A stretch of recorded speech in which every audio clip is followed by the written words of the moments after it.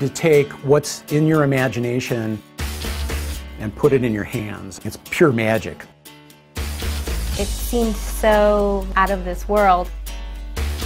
You know, this can put manufacturing in a lot more people's hands.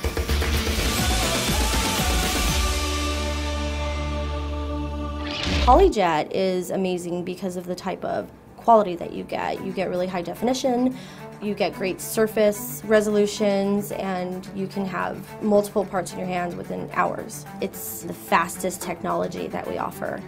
PolyJet really shines in, with, with its surface finish and its ability to, to resolve very fine features.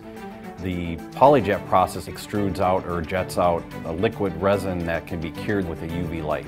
They are made to react to ultraviolet light. And so that's the catalyst that causes these two separate components to come together to form the third, you know, solid plastic component. So with the PolyJet system, it jets out a thin layer of the photopolymer resin. It cures it with the UV light and then builds a cross-section of that part layer by layer. So after one cross-section is deposited, the platform will drop down allowing the gantry to pass with layer number two, and then every subsequent layer after that. When the part has completed building, we will remove it from the platform. So the parts coming off of this technology are really smooth.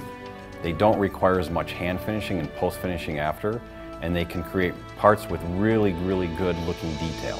We do paint ready, we do very custom detailed work. So if you're looking for that amazing showpiece for a trade show, that's something that we can definitely accomplish in-house. They say a picture's worth a thousand words, a part's worth a thousand pictures. what we can do with PolyJet, there's just such a wide range in materials. We're printing hard plastics, and we're printing soft shore material and we're able to make overmold pieces now where you're combining the two materials. So like a drill that has a hard substrate and a rubber grip, you can build that in one piece. You know, as Stratasys Direct Manufacturing, having the engineering talent on our end to work with the engineering talent on the customer's end is real exciting because that's where the good stuff happens. You get to be a part of someone's idea and then make that a reality. And if we put those tools in their hands, we don't know what they're going to come up with. And that is just awesome to, you know, I can't wait to just kind of sit back and watch what's going to happen out of that.